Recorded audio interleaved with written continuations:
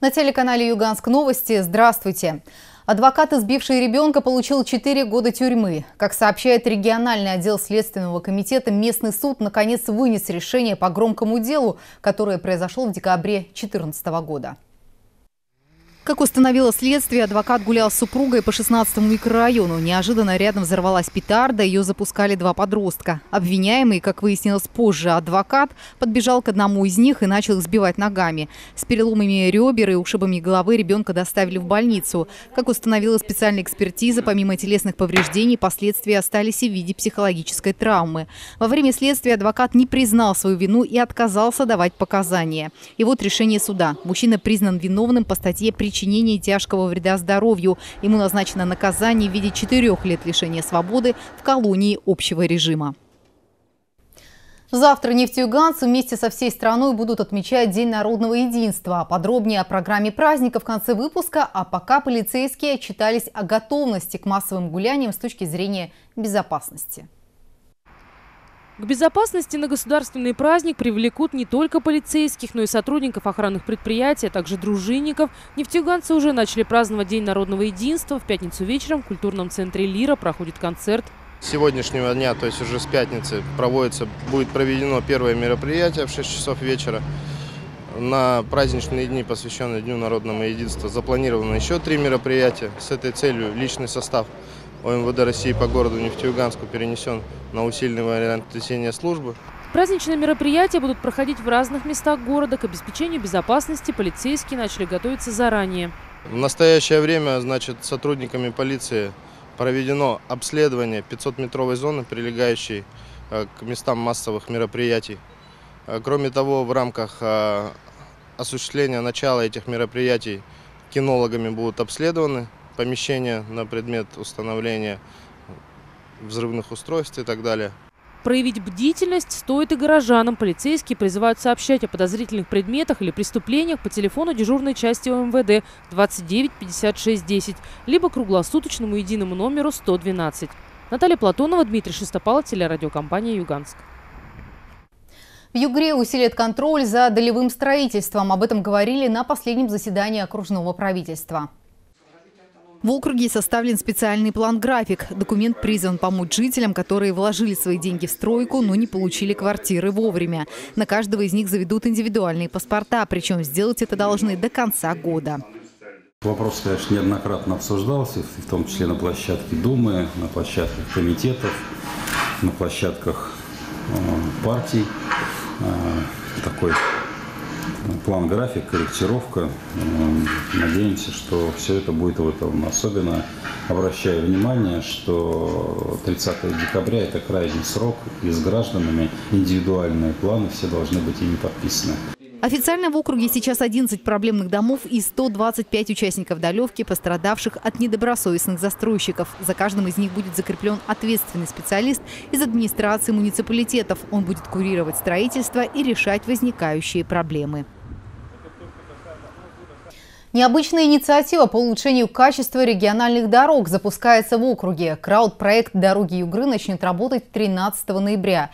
По замыслу организаторов он должен объединить усилия жителей и чиновников для улучшения транспортной ситуации.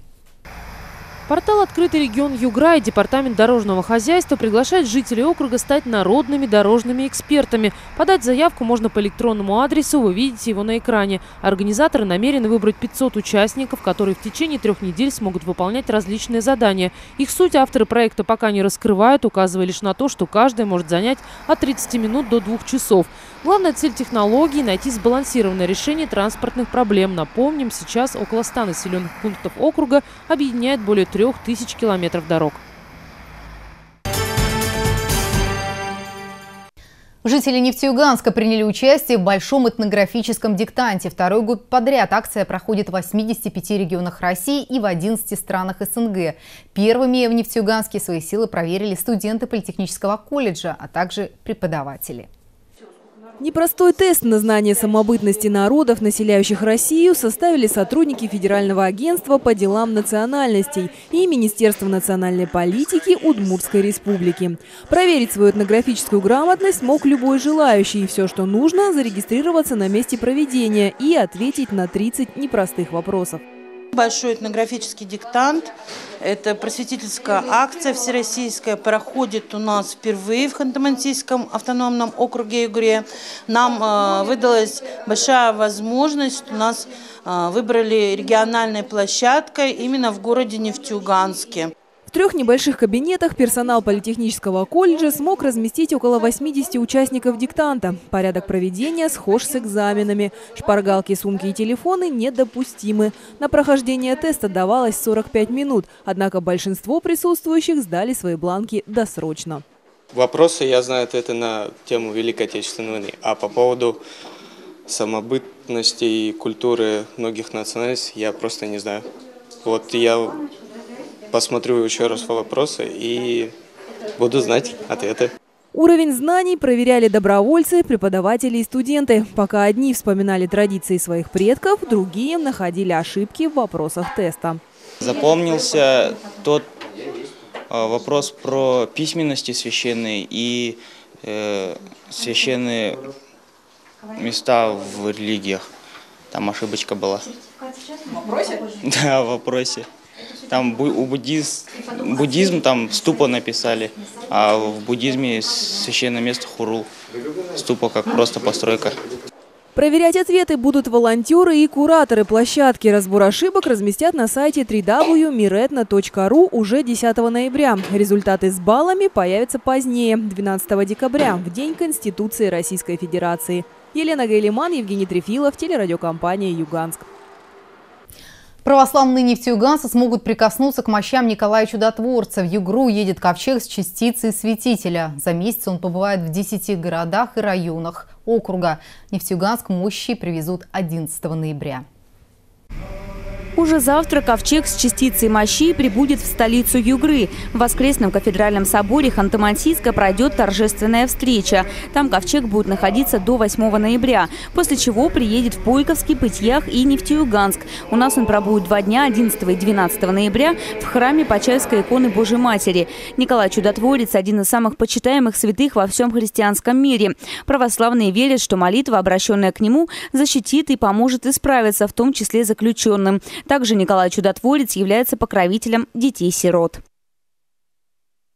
В ближайшие годы агропромышленный комплекс Югры станет понятнее и мощнее. Окружное правительство приняло государственную программу развития АПК и рынков сельскохозяйственной продукции на ближайшие 7 лет. Один из главных ее пунктов – внедрение региональной автоматизированной информационной системы. Она поможет фермерам упростить процедуру подачи документов. Кроме того, больше станет мер господдержки для производственных сельскохозяйственных кооперативов. Власти округа рассчитывают на увеличение объемов производства в агропромышленном комплексе. Переработка молока возрастет до 18 тысяч тонн, мяса – до 26 тысяч. Предлагается рост производительности труда в агропромышленном комплексе обеспечивать за счет внедрения бережливых технологий и мер государственной поддержки на создание высокотехнологичных животноводческих комплексов, привлечение высококвалифицированных специалистов, проведение обучающих мероприятий. Специалисты уверены, что новая программа будет стимулировать создание сельскохозяйственных коопераций, снизит административную нагрузку и упростит путь к мерам господдержки. День народного единства завтра отпразднует вся Россия. В честь государственного праздника в Нефтеюганске состоится фестиваль дружбы народов «Радуга». Горожан приглашают в культурный центр «Обь». В три часа дня на большой сцене выступят национальные творческие коллективы. Фестиваль дружбы народов ежегодно собирает вместе представителей более 20 общин и диаспор Нефтеюганска. Прийти на концерт может любой желающий. Также в субботу жители ждут метаморфозе. Там пройдет всероссийская акция «Ночь искусств». Начало в 17.00. Вход платный. В галерее для горожан проведут квесты, интерактивные программы, мастер-классы по изготовлению тряпичных кукол и игрушек из глины. Также нефтеюганцы смогут увидеть работы экспрессиониста Анны Серебряковой и фигурки самых разных медведей. В галерее работает выставка «Ветвистый костистый», приуроченная к юбилею Нефтеюганска. А сейчас не переключайтесь. Через минуту в эфир выйдет программа «Вечерний гость». Сегодня мы будем говорить о Дне народного единства, о том, что это за праздник и кого он должен объединять.